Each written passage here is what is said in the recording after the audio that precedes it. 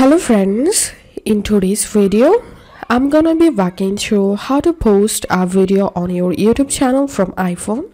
First of all, open a browser and open YouTube and make sure to sign in into your YouTube account here and tap on your profile icon to the top right corner of the screen. Tap on YouTube Studio.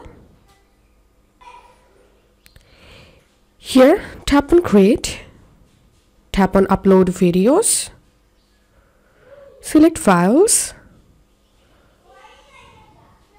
And all you have to need just select the video which you want to upload.